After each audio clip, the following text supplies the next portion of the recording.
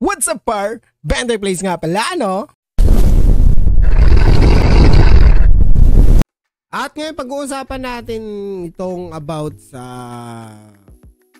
Void Orb, yung nakukuha na nagagather sa Mirage Ship Inner Cabin. Ito, yan. Yan yung mga laman niya. Okay? Totoo ba daw yung nakukuha ng dart niyan at yung Dragon Claw? Yung dart niyan, huwag kang maniwala dun. Hindi nakukuha ng gathering void Promise. Pero yung Dragon Claw, di ko pa naranasan. Pero nagtataka ako kasi wala naman sinabi si May sinabi ba si Merpor sa page nila na pwede makakuha nun? Mm-mm. Di ko sure ha. Parang, ewan ko kung edited ba or totoo. Paki-confirm naman kung totoo talaga yung may nakukuha Dragon Claw dito. Kasi isa din ako sa mga mahilig mag-gather ng orb dito eh. Pag wala akong meron akong bakanting oras, walang nagko-quest kasi minsan sumasabay ako sa quest dito kasi magaganda yung mga reward ng quest dito. Kung wala, may daanan akong orb, eh yan, ginagather ko. At may isang araw nga na nag-gather ako dito ng lima. Limang diretso yan. At wala naman akong nakuhang epic orb. Pero, marami akong nakuhang epic. Pero, walang, walang dragon material. Walang dragon materials na nakukuha ko. Okay, tapos ito pala ay pinagsama na plant at ore. Ang kaso nga lang siya ay 10 seconds siya. Hindi siya hindi gumagana yung gathering boost natin dito at yung mining boost. Talagang te- literal na 10 seconds siya. Uumusin mo talaga sa 10 seconds. Tapos ang nadagdag dito, meron siyang moonlight, yung pang-crop ng mythical piece, yun Meron din siyang ice crystal, yung pang-craft ng artifact. Nakukuha din yan. Diyan. Ano pa ba? Mm, mineral oil, nasa kuan naman yun eh. Nasa ore talaga yan. Sa SP, mga ganun. Okay? At uh, pero yung effect na kuan na claw ay wala talaga. Wala akong nakuha ganun. Baka naman meron kasi 'di ba? Nakita naman natin sa screenshot dyan na meron naman, no? Pero baka, ano? Sinerte sila. Paano ba, at ilan ba nakukuha dito? Uh, na effect eh, every orb. Depende pa rin yan para sa kuan orb, maswerte ba or hindi yung orb na nakuha mo. Mm, at worth it ba siyang i-gather everyday? Mm, okay lang, saktuhan lang talaga siyang i-gather everyday. Gusto ko, gusto ko lang mag-gather.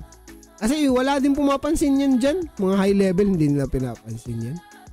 Kasi yung nakukuha talaga, rare lang, tapos 10 seconds din siya. Kung meron lang sana magpapabilis ng gathering, eh, worth it siyang i-gather talaga. Kaso hindi, okay lang, pag may nadaanan, hindi i-gather. Pag hindi talaga siya yung pag-aagawan-agawan kasi kung pag-aagaw-agawan talaga, maraming nag-aabang. Or baka konti pa lang yung tao kasi konti pa lang naman yung nakakarating dito. Pero minsan kasi dinadaanan lang ng mga kanyo eh, mga high level. Hindi daanan. Tayo lang pumupulot. Ako lang pumupulot yan minsan. Uy, may orbo. Bago eh. Gusto ko makakuha ng effect na kon eh. Mga damo, mga ganun. Or mga asurium. Makuha kasi kasi niya ng asurium tapos yung snowpanak. Yun yung habol ko dyan. Asurium at snowpanak.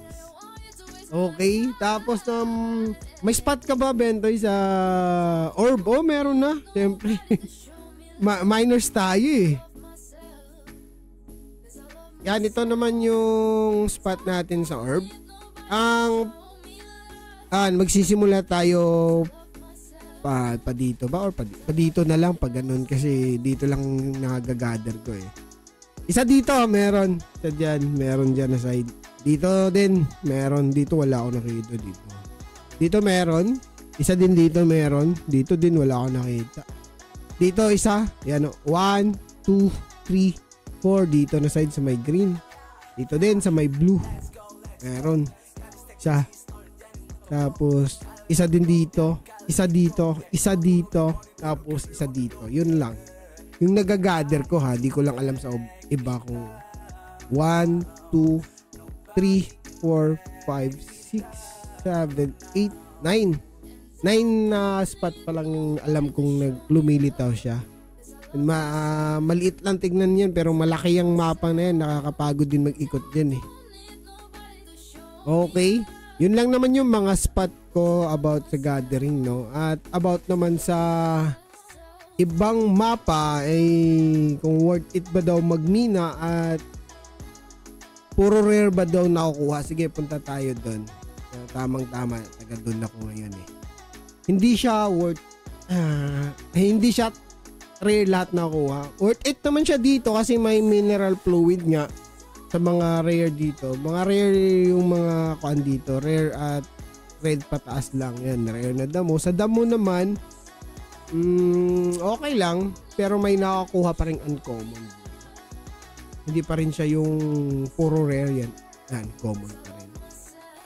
Pero may makukuha kang kuan dyan, Snowpanax na rare, mga ganito.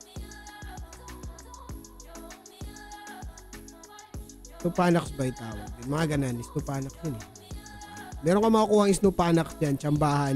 Ganon din sa, parang nasa SP ka. Yun, mga ganon. Parang nasa SP ka. Tapos yung mga, ito naman, puro blue din dito, walang uncommon. Same pa rin sila, nakakuha ka pa rin ng uncommon na materials.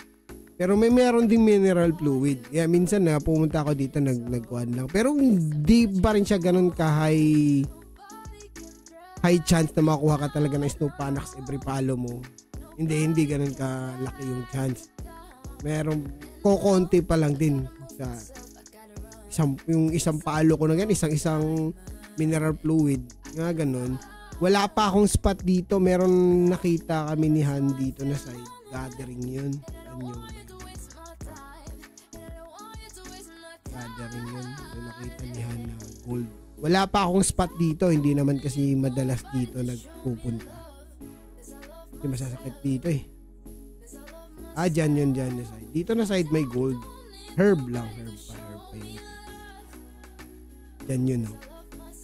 Dito na side may herb na bibitaw. Gold herb. Pero yung iba hindi pa namin alam yung saan yung ibang gathering spot dito. Malaki-laki na naman din to. Tapos, worth it ba dito? Okay lang, saktuhan lang din. Goods lang dito kasi may mineral fluid, may Snupanax. Pero, mm, bihira kasi. Wala, wala pa akong nakalimutan ko saan ko yung napok yung raid dito. Bihira lang kasi mas mag, mas madalas pa yung nasa SP ka, mas madalas pa nagbibigay ng or ay o nga no kasi red naman yung pinapalo natin sa SP. okay? At yun lang naman about dito sa bagong mapa no.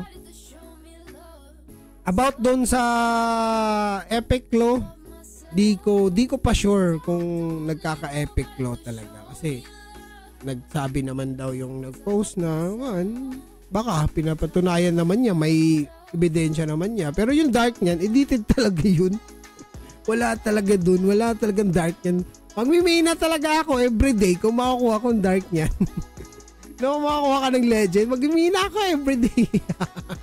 May na everyday pero about dun sa or o sa orb o sa epic glow hmm, baka baka. Malay natin. Sobrang lucky-lucky yun no?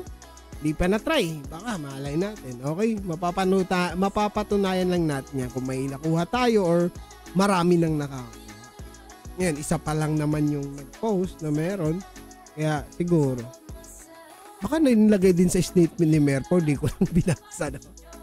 At hanggang dito lang tayo, par, no? Kung may tanong kayo, comment down below na lang. Okay? At keep on grinding para ma-enjoy nyo yung game. Keep on grinding para secure yung mining yan. 20 plays out.